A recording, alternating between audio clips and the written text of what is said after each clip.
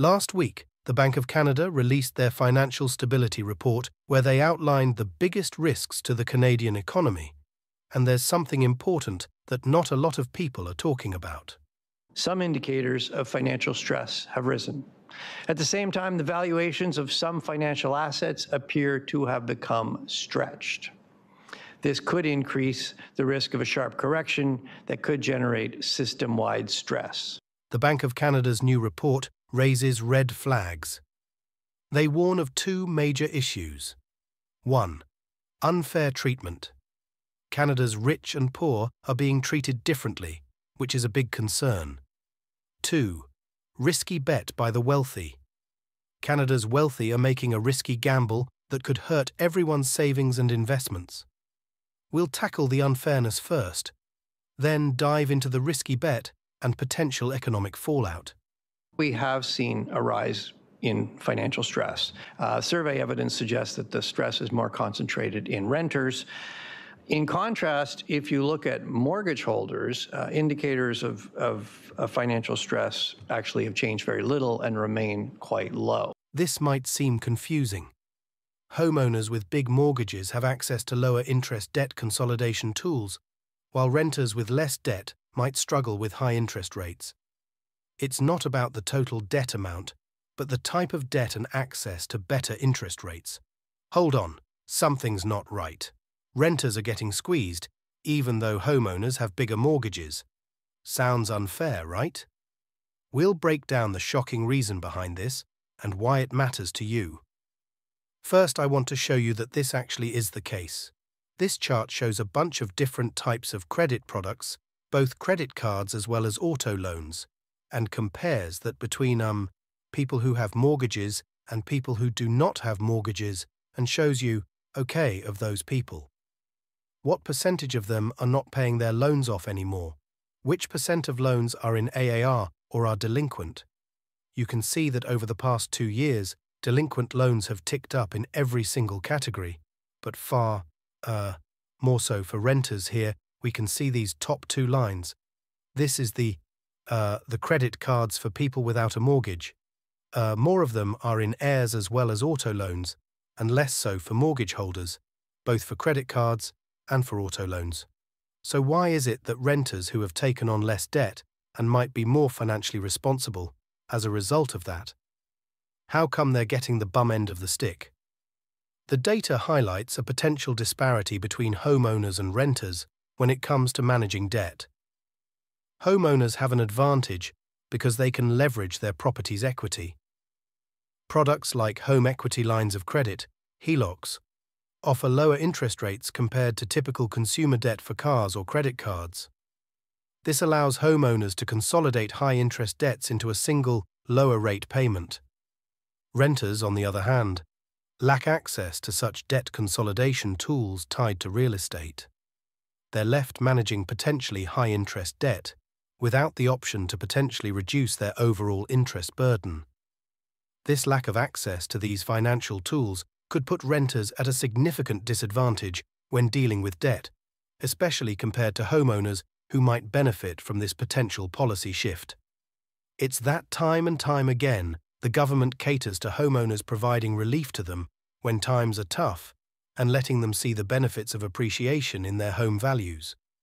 When times aren't so tough, it's no wonder that Canada has these insane real estate prices when the government policies that we see especially new ones that we're going to look at in a second, are constantly telling you to borrow more and to stretch yourself to buy as much real estate as you can.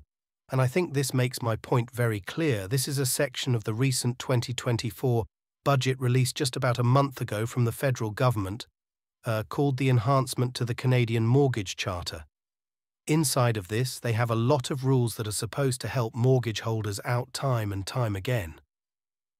We've talked on the channel about how big banks are allowing for amortization extensions, essentially extending the amount of time that homeowners have to pay off their loan, while also forcing them to pay higher interest, but as a result, reducing the monthly payment so that they can actually make ends meet in the short term. Well, it seems that these amortization extensions that the big banks have been offering Well, they're getting codified in a Canadian mortgage charter. Um, they talk about a potential shift in mortgage relief measures.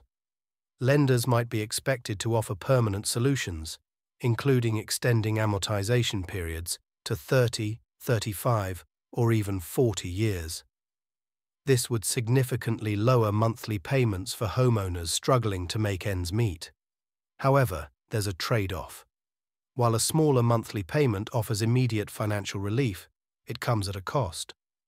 Stretching out the loan term over decades means homeowners will end up paying much more interest over the entire repayment period. In simpler terms, while this helps with short-term cash flow, it benefits the banks in the long run as they collect more interest on the loan. Big bet alert. Canadians and companies are borrowing billions to gamble on bond prices. This risky move could hurt everyone, even if you're not involved. The Bank of Canada is worried and wants to prevent a financial mess. While the video mentions renters not getting the same help as homeowners, the bigger concern is the overall economic risk. Stay tuned for future breakdowns. Talking about this chart shows how many months of income people have in savings or liquid investments like stocks, and they use this as a measure to say like, okay, well, how much of a buffer do people have, how many months of runway do they have of income, before they would run out of funds, and they show this in two or in three different time periods. The blue ones are from before the pandemic, the yellow is from early 2023, and the green is from early 2024 just recently. And you can see a pretty big discrepancy here. Of course, renters having far less in terms of savings and, uh, and stocks that could hold them over homeowners with a mortgage are in a little bit of a better position, and homeowners that have their house paid outright or homeowners without a mortgage, while of course they're in the best situation. But the Bank of Canada uses this data to say even though there are these discrepancies between the different classes or different types of Canadians, well, actually, for each of these individual classes, they're actually in a better place than they were before the pandemic. Just compare the blue before the pandemic to the green after the pandemic. Uh, in all cases, this has gone up, meaning that average Canadians have more in savings and in liquid assets than they did before the pandemic. So they use this to say that, well, Canadians are actually better off than they were before the pandemic. But personally, I don't buy it, and I don't like this chart at all. Um, because this is measuring the amount of months of after-tax income people have accessible to them.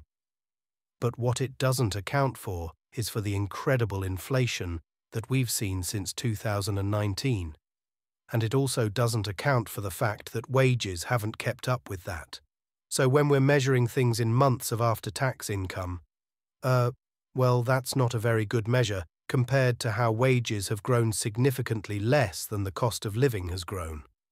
I don't buy that Canadians are better off now than they were four years ago. Hold on, there's a bigger risk. Canada's big players, wealthy individuals, hedge funds, and even pension plans are borrowing billions to make a risky bet on bond prices. But if this backfires, the Bank of Canada warns, it could hurt not just them, but everyday Canadians too. Now, in the Financial Stability Report, the Bank of Canada said that there's one thing that has the biggest risk of spreading out and creating a sharp downturn in markets, and it all has to do with this big bet that's being made by fund managers, and it could impact everybody. But what exactly are these fund managers betting on? Well, they're betting on interest rates going down for a while now, it's been the consensus that rates would begin to decline marginally this year. So, of course, these firms think, hmm, knowing that I believe that to be the case, how can I make some money on it? The answer in their eyes is bonds. As a quick refresher, you'll remember that bonds and interest rates are very tightly linked together. In fact, the prices of bonds have a large impact on what the average interest rates are that you and I pay on any kind of credit that we take out. And as the price of bonds go up, the interest rates that those bonds pay and that we pay in the economy tend to go down. And the inverse is the same as bond prices go down while interest rates tend to go up. So if big hedge funds wanted to speculate that interest rates would in fact come down well, then they could make money on that by buying up a bunch of bonds, knowing that, hey, the price of those bonds, well, that's going to go up if interest rates go down. Just buying bonds isn't enough for these big players. They're also making extra bets that bond prices will go up. They do this by selling something called a futures contract, promising to buy bonds later at a set price. They get paid for this promise. Imagine it as a double down bet on bond prices rising. But even that's not enough. They borrow billions to increase their potential profits, but also their risk. The Bank of Canada isn't happy about this. We do express some concern that you know, basically the way you make money on you don't make very much money on any one trade. There's a small discrepancy. You make a, small amount of money. So in order to make this uh, worthwhile you need to do a lot of it. And to do a lot of it you need to borrow. The problem? These bets are profitable only in large volumes requiring massive borrowing. While things are smooth it's all good. But if something unexpected happens it can trigger a domino effect. Here's why We've seen we so we've seen an increase in borrowing, particularly in repo markets uh, of hedge funds, and in the event that there was a sudden repricing, a, a sudden change in in uh, bond prices, big change in, in yields.